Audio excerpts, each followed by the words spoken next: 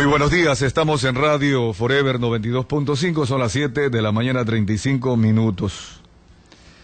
Antes de iniciar lo que es el análisis de lo que ayer sucedió, que debemos preguntarnos qué fue lo que sucedió.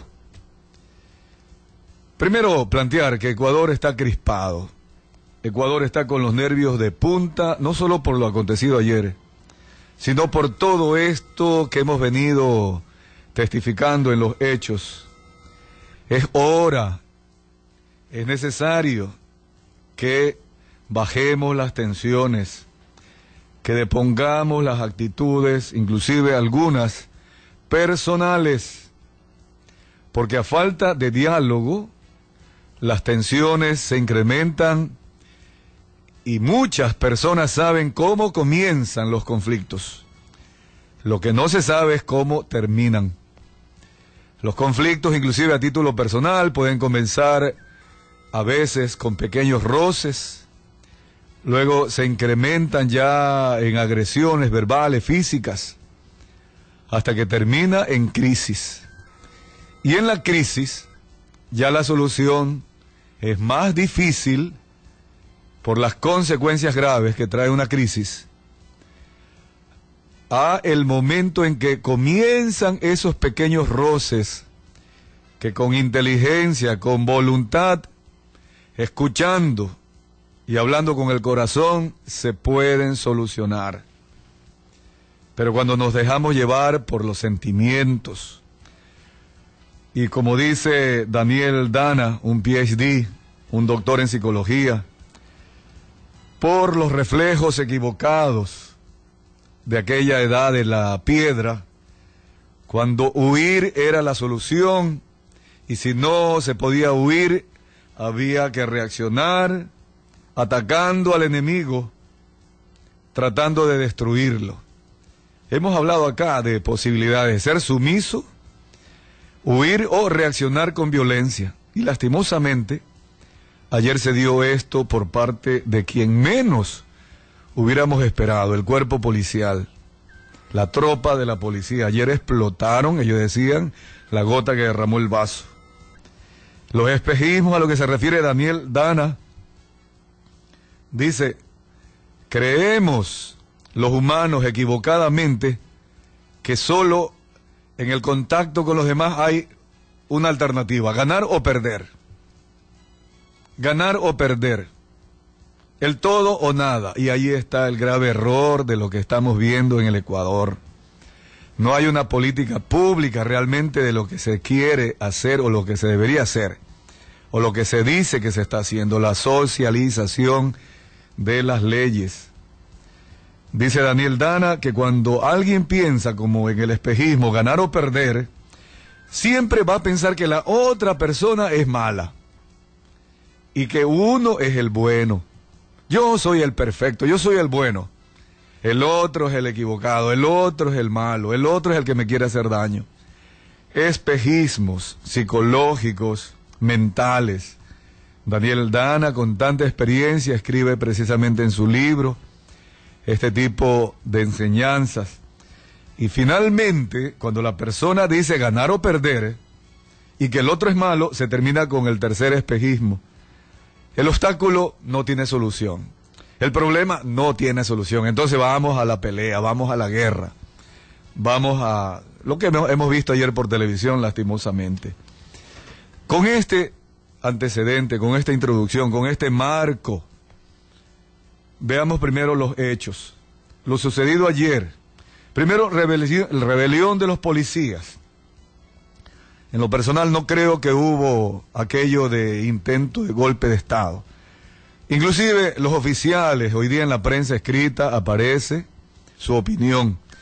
Ellos venían dialogando sobre este tema hace algún tiempo atrás y hace 15 días se habían reunido con los asambleístas para que el día miércoles en la noche no se aprobara esos artículos en, en los que a ellos les quitaban estas bonificaciones o beneficios que el día de hoy el diario El Universo lo publica porque ayer leían, los policías leían el comunicado y leían el listado de las peticiones. El diario Universo hoy día en la página 2 tiene nueve peticiones listadas al margen derecho. Nueve. Y una de ellas, la más importante, por decir así, la que se introduce en este tema, dice que se deroguen disposiciones de la ley de servicio civil por la que se elimina el derecho a percibir las condecoraciones y bonificaciones de la fuerza pública. El presidente de la República manifestó ayer en ese discurso que tuvo allí en el regimiento Quito número uno, que él les había subido el sueldo, el sueldo de miseria que tenían antes, y había eliminado la, caridad o algo así, él manifestaba, es decir, como que tenían un sueldo de miseria y le compensaban con estas bonificaciones, que eran limosnas. Esa fue la expresión del presidente. Bien, para el presidente tenía, eh, tiene esta idea, seguramente sus asesores, habría que ver qué pensaron el ministro de la política, el ministro de seguridad interior que negociaban, los asambleístas que negociaban con los policías. Limosnas. Pero para el policía no es necesariamente limosna. Quizás ellos creyeron que le subían el sueldo y le mantenían aquello denominado como limosna, los bonos por ascenso, la canasta navideña.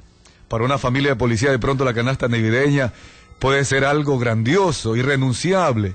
Los juguetes que siempre se le entregaba a los policías, el comisariato, todo esto, para ellos importante. Posiblemente para el funcionario público no era importante. ¿Qué pasó allí? tratando este primer tema sobre la rebelión de los policías. No hubo entonces una buena comunicación. No se les explicó a los policías, señores, le vamos a subir el sueldo, pero tenemos que quitarle esto, esto, esto, esto, esto. O allí sí podría atribuirse, si no hay buena comunicación, posiblemente a lo que ayer se hablaba de la desinformación. Es decir, alguien silenció la información Quizás los mandos superiores la policía no se lo dijeron a la tropa. O se manipuló la información. Esa es la verdadera desinformación en periodismo, en comunicación, administración, en todas partes donde se utiliza la comunicación. Cuando no se dice la verdad completa. Si a una persona le dice, te vamos a subir el sueldo, ah, muy bien, muchas gracias. Pero si no se le complementa, pero te vamos a quitar las bonificaciones, error de comunicación, error administrativo. Esa es la dimensión sobre la que se debió haber tratado el tema ayer. Y sobre ese asunto, tratar de buscarle la solución. ¿Qué pasó después? El presidente desafió a los policías, inclusive hasta que lo maten.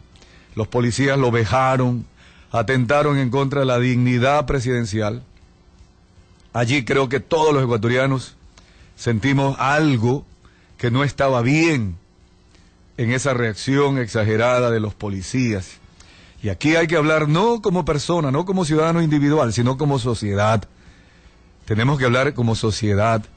No podemos perder ni de un lado ni del otro lado el respeto a la dignidad, en este caso presidencial, así como el respeto a cada persona, a cada individuo. Luego se da la retención o secuestro del presidente de la República en el hospital de la policía.